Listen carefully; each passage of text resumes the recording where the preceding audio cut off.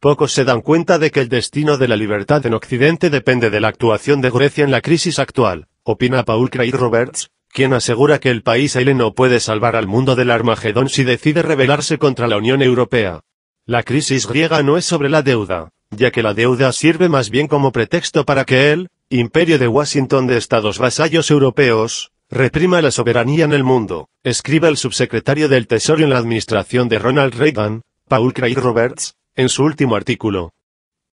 El imperio ha rechazado el referéndum democrático de Grecia el próximo domingo porque no cree en la democracia, sino en la sumisión, asegura el analista.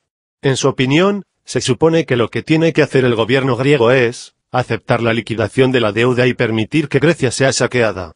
No obstante, para eso hay que silenciar la voz de su gente. Y esa es la razón por la cual, los alemanes y la Unión Europea se oponen a que el gobierno griego entregue la capacidad de decidir el futuro de Grecia a los griegos. Si la democracia puede ser destruida en Grecia, puede ser destruida en toda Europa, advierte Craig Roberts. Los griegos tienen en sus manos no solo el destino de la democracia en Occidente sino también el destino de la vida en la tierra, asevera. Washington está tramando un Armagedón, pero Grecia puede salvarnos, insiste el especialista, explicando que lo único que deben hacer los griegos es, apoyar a su gobierno e insistir en que éste muestra el dedo medio a la corrupta Unión Europea, no pague la deuda y gire hacia Rusia.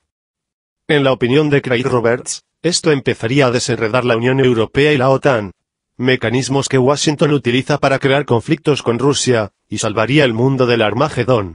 Lo más probable es que Italia y España sigan a Grecia saliendo de la Unión Europea y la OTAN, ya que estos países son también objetivos de despiadado saqueo, escribe el autor. Es difícil imaginar otro escenario que pueda salvar al mundo de la Tercera Guerra Mundial, concluye Craig Roberts.